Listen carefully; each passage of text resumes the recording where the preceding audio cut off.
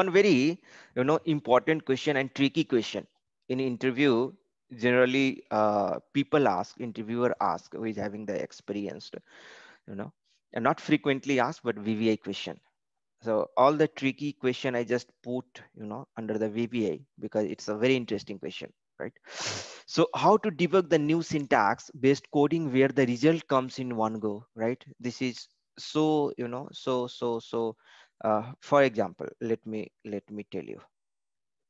Here let's suppose you have this one right? You want to determine time based upon some condition or suppose if you have the switch operator how you will debug over here?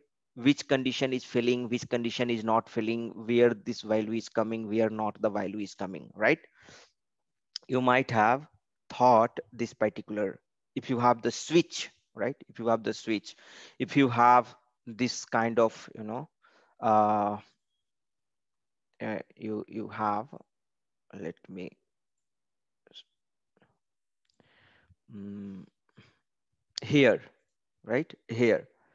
This uh, in the select query no in the select query that's fine. Here you cannot do anything.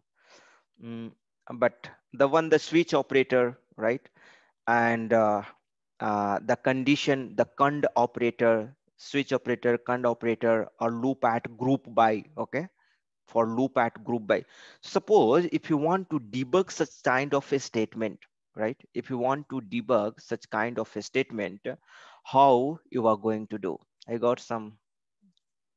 Yes yes good. A step size or you'll have to use the watch point okay? Either you can use the step size or you can use the watch point okay? So step size you have in the new debugger you have a, a tool called step size. We can use that tool or we can use the watch point in order to debug. Okay. What is new operator? What is new operator? Very popular in object oriented right? Very popular in object oriented what is new operator? So earlier what we used to do right? This is the basic uh, concept and many a times interviewer ask this question. Okay? Many a time interviewer ask the question. And generally this question is being asked in a kind of a startup company. A startup are very keen you know.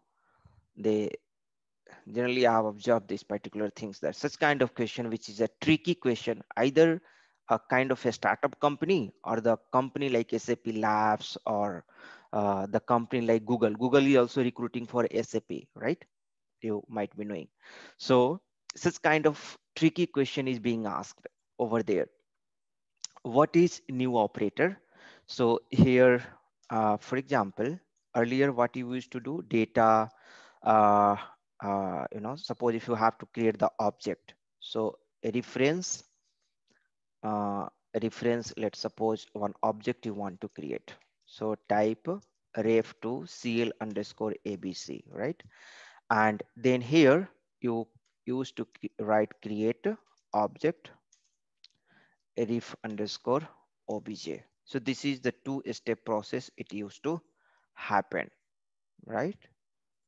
But now, now with the help of new operator, you can do it in one go, right?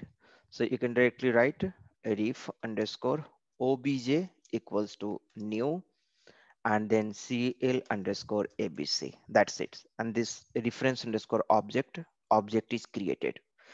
Earlier, first you used to create the reference and then you used to instantiate the class, right? Here, the reference creation and instantiation both is done with the help of new operator directly.